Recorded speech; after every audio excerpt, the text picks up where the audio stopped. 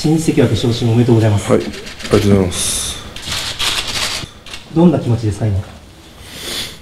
まあ嬉しいです。はい。自分の相撲、右四つ、まあ左上手で取って右を差す相撲が、まあ、取れてるから、まあ、上位でも通用するようになってきたと思います。立ち合いがかなりこ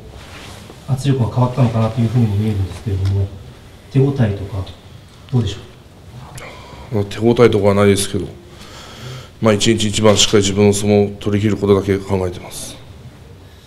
大関という番付に対しての意識はどうですか？まあ、来場所2桁勝たないと、まあ、意味がないと思うんで、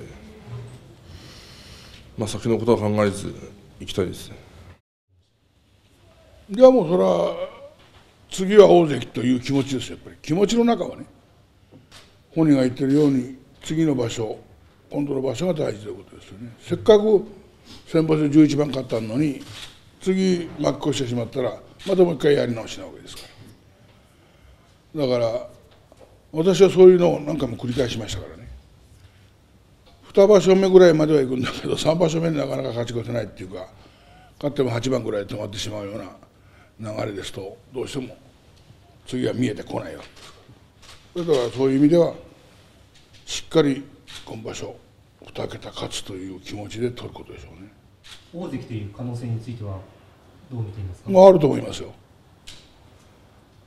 なかったらそんな11番も勝てないでしょ。うん、だからやっぱりそれ11番も勝っていくこと11番を12番にするというぐらいの気持ちでやることが大事でしょうね。ふるさとにいい報告ができると思うんですが、そのあたりどうですか？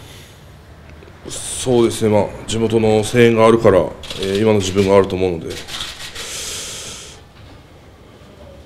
あこれからも変わらず応援していただきたいです来年はどんな1年にしたいという思いがありますか？まあ、今の番付よりもっと上を目指していきたいですね。初場所の抱負目標をお願いします。えー、2桁勝利目指して、2桁以上目指して頑張りたいです。